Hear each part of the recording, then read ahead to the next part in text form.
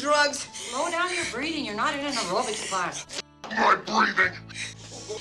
How about some Demerol? Take the edge off the contractions? Oh, yes. Oh, God, that'd be great.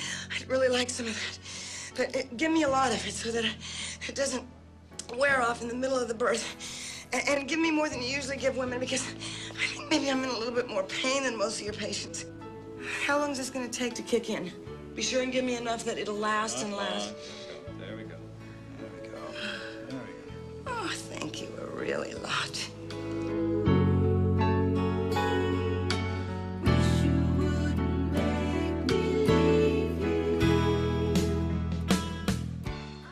I come out of the store, the homeless guy comes up to me.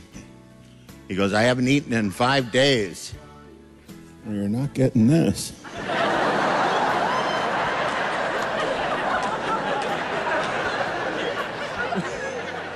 I didn't say it, but I thought it. Haven't eaten in five days. What's that like? I went three hours once, but that was just a bad waiter.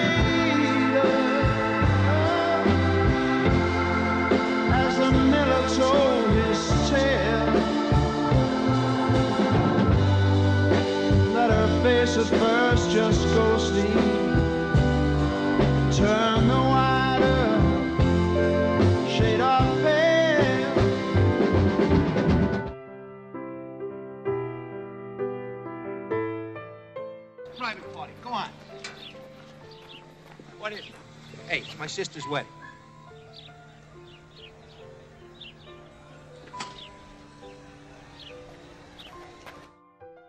FBI don't respect nothing. Hey, come here, come here, come here, come here, come here, come here.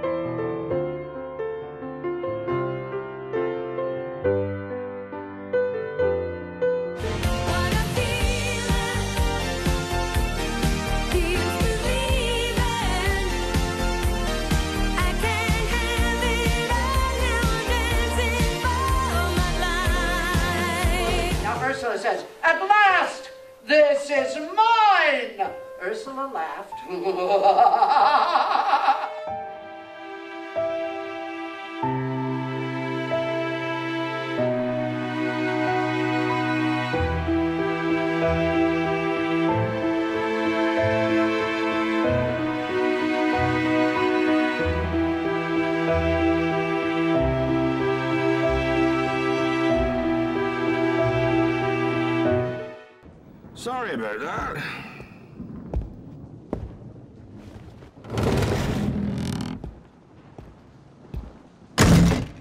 I demand that you leave at once. Sir. You are breaking and entering. Dry up, Dursley, you great prune.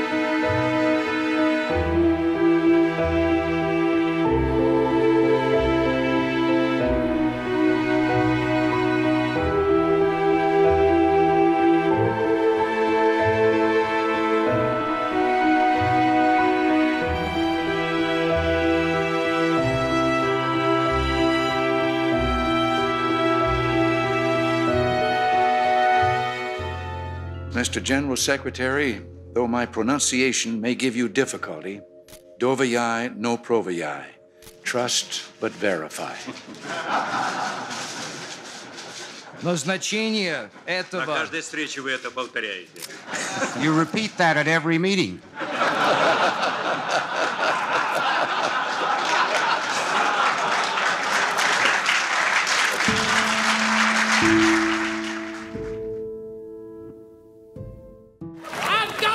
Walks into a bar. Joan Rivers is the bartender. He sees a sign over the bar that reads, cheese sandwich, a dollar fifty. Hand ten dollars. He says to Joan Rivers, Are you the one that gives the hand? Joan says, Yes, I am. He says, Well, wash your hands. I want a cheese sandwich.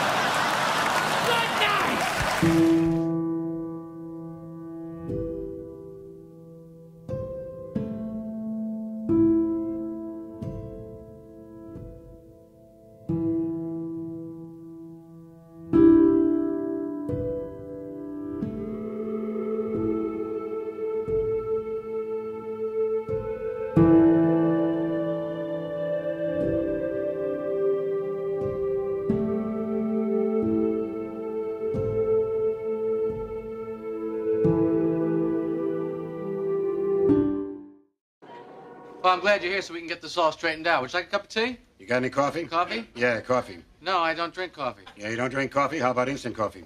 No, I don't have. You don't have any instant coffee? Well, I don't normally. Who doesn't have instant coffee? I don't. You buy a jar of Folgers crystals, you put it in a cupboard, you forget about it. And later on, when you need it, it's there. It lasts forever. It's freeze dried. Freeze dried crystals. Really, I'll have to remember that. You took this book out in 1971. Yes, and I returned it in 1971. Yeah, 71. That was my first year on the job. Bad year for libraries. Bad year for America. Hippies burning library cards. Abbie Hoffman telling everybody to steal books. I don't judge a man by the length of his hair or the kind of music he listens to. Rock was never my bag. But you put on a pair of shoes when you walk into the New York Public Library, fellas.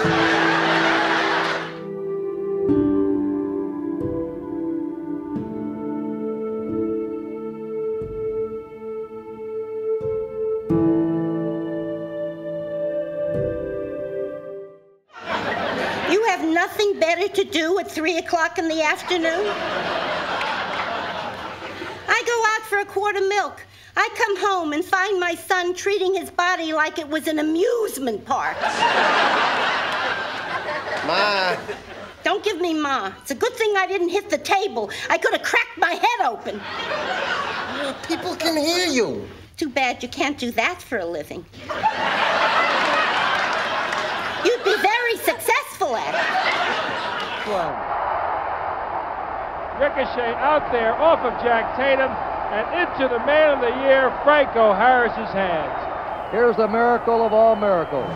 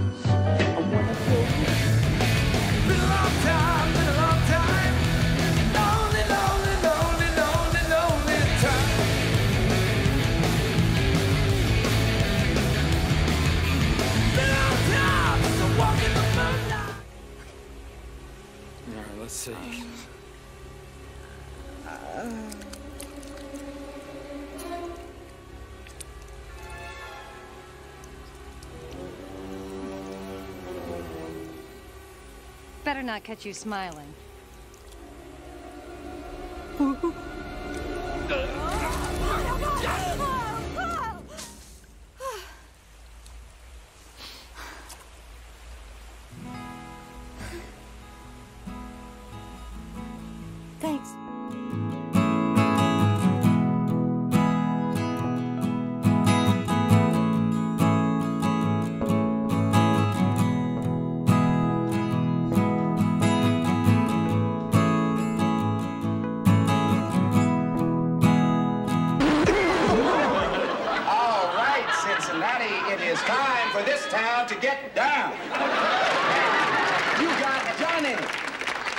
Dr. Johnny Fever, and I am burning up in here.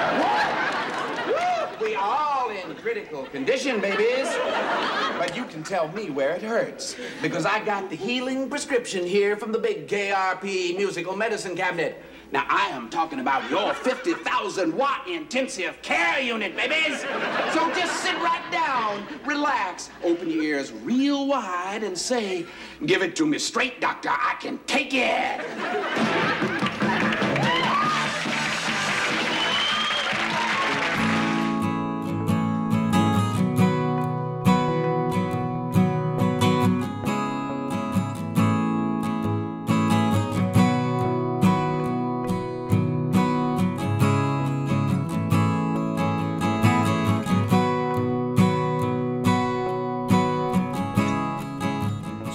So you like that farm life? Milking cows? I don't have a farm. No. Margaret thought you live on some kind of farm. You bust up a made man's place. You kill some of his guys. You take his eye. Jesus, Joe, you took his eye. Barbed wire, wasn't it? That's disgusting. You always were the crazy one. Not anymore. Yeah, I heard. You're living the American dream. You really bought into it, didn't you? As I walk through the valley of the shadow of death, I take a look at my life and realize there's nothing left. Cause I've been blasting and laughing so long that even my mama thinks that my mind is gone. But I ain't never crossed a man that didn't deserve it. Me be treated like a punk, you know.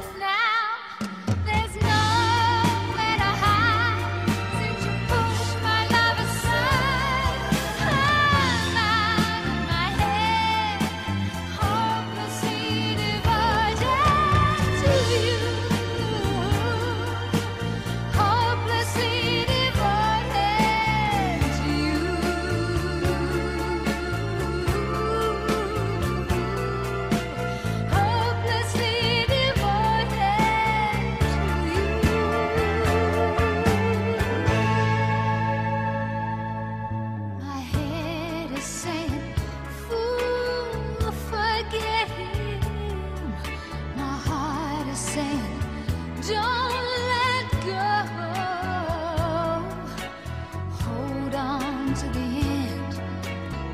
That's what I wanna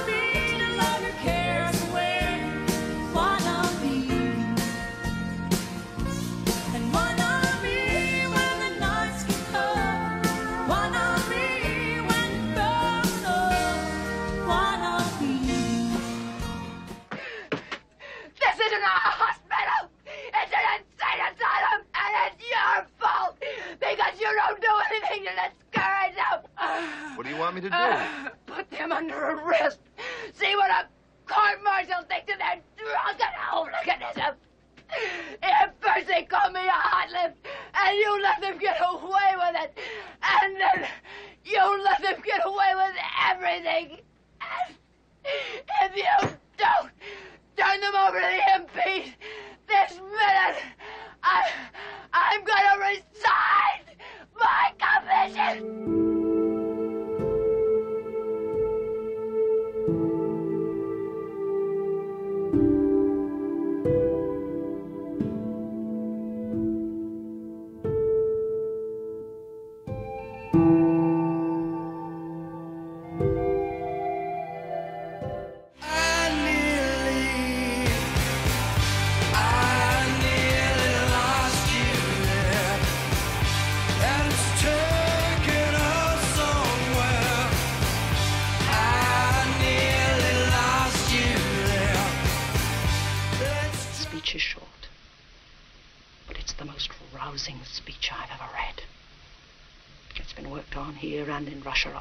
For over eight years. I shall force someone to take the body away from him. Then Johnny will really hit those microphones and those cameras with blood all over him, fighting off anyone who tries to help him, defending America even if it means his own death, rallying a nation of television viewers into hysteria to sweep us up into the White House with powers that will make martial law seem like anarchy.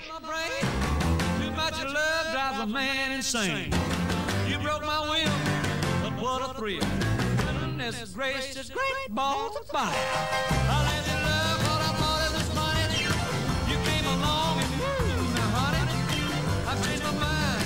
The screw is fine. It's just great balls of fire. Karen! Where's the stuff that I left, Karen? I flushed it down the toilet. You what? What was I supposed to do? They were all over the house. Karen, that was worth $60,000. I need that money. That's all we got. What was I supposed to do? The Karen! warrant, they were in everything. That's all the money that we had, Karen. I was dependent on that. Why didn't you do that? I had to. Karen, They, what- they were gonna find oh. it. Karen, they would have never They would found have found it. it. I swear to you, Henry. I swear, Henry, they would have found it.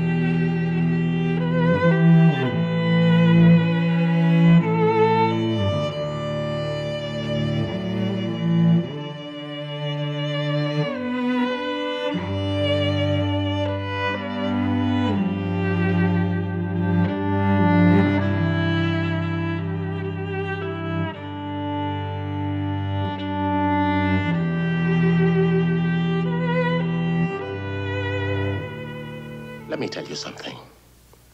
I owe you nothing. If you carried that bag a million miles, you did what you were supposed to do. Because you brought me into this world. And from that day, you owed me everything you could ever do for me, like I will owe my son if I ever have another. But you don't own me. You can't tell me when or where I'm out of line, or try to get me to live my life according to your rules. You don't even know what I am, Dad. You don't know who I am. You don't know how I feel, what I think.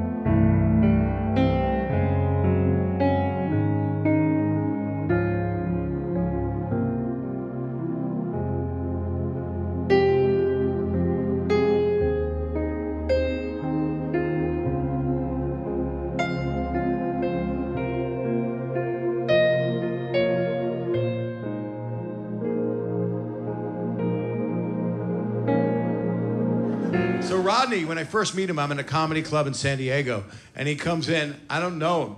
And he goes, Man, I don't know how I'm doing. And I'm supposed to be in a spa, and I'm doing no coke, no booze, no pot, no pills. And I'm like, This guy's fascinating. and then he said, I've seen you on TV, man. You're funny, man. You got a Jew head. You know what that means? You're. You're f***ed. You can't stop thinking. You're doing jokes all day long. You're f***ed. And I'm like, I got a new friend. Gets me.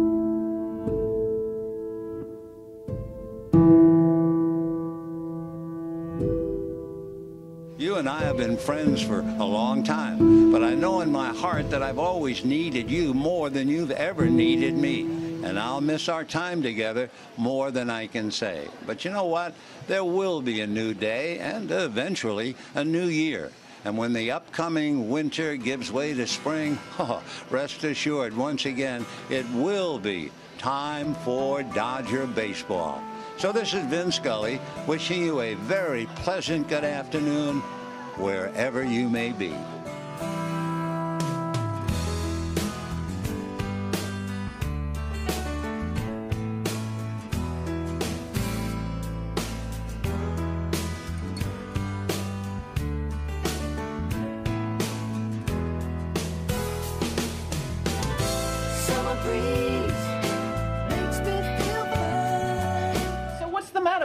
Matter with this Davola guy? He's got like a chemical imbalance. He needs to be on medication. Oh yeah, yeah. He's After Jerry now. Kramer. he's what? He's joking. He's after you? No. Why is he after you? Not after me. Morty, do you hear this? Some crazy guy is after Jerry. I'll make a few phone calls. Who are you gonna call? What are you worried about? I want to know what you did to this guy that he's after you. I didn't do anything. Well, you must have done something. No, he just doesn't like me. Doesn't like you? How could anyone not like you? I know, it seems impossible. Does it? It's true. No, it isn't. It's not true. You're a wonderful, wonderful boy. Everybody likes you. It's impossible not to like you. Impossible.